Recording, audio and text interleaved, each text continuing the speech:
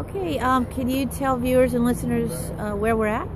Uh, we're standing on the sacred Ohlone land that is known as the Gill Tract in Albany, California. And your name is? My name is Hank Herrera.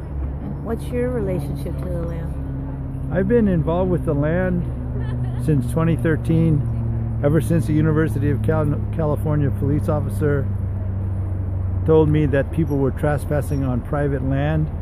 And since I'm Ohlone, I thought to myself, how is it possible that I could be trespassing on the land of my own people? Mm. And I've gotten involved with Occupy the Farm, which originally saved the land that we're standing on right now for farming. And we're finding ways to bring indigenous leadership, native leadership, um, out of uh, reverence for our ancestors and for this land and for future generations.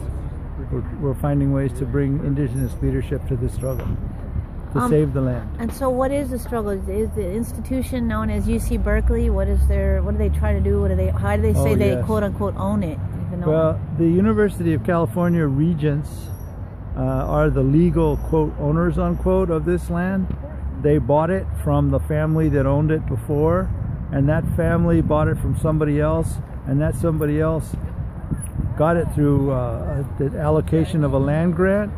Uh, the land grant of stolen land has happened all throughout this state and throughout this nation, uh, where people, colonizers, settler colonizers came and stole the land and then found a way to create a legal system for saying who owns it.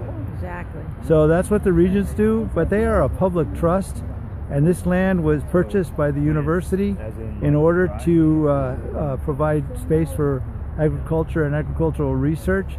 And in our view, besides the fact that they're doing this on stolen land, they're violating their legal public trust to conserve this land for agriculture and for agricultural research.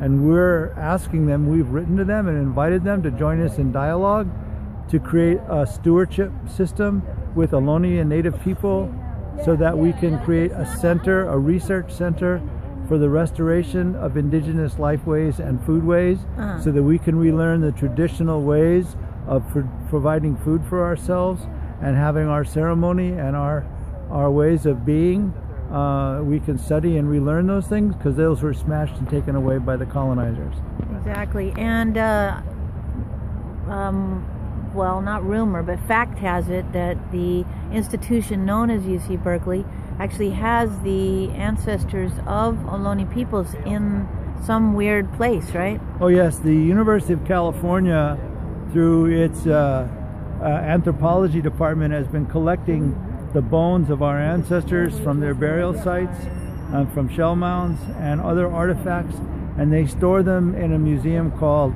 um, the Hearst Museum, which is in uh, the anthropology building called Kroeber Hall, which is named after Alfred Kroeber, a famous anthropologist who studied native people and uh, uh, at one point in the 1920s declared California Indians extinct. That's right. Uh, I and other native California Indians stand here uh, ephemerally as extinct people, but here I am. We're still here. Hey, hey! Uh, and just for listeners and viewers, we call it anthrowongology. So, uh, There you yeah, go. exactly. Any last words? I thank you guys for being here. Thank oh, oh, Mateo. you. In solidarity, yes.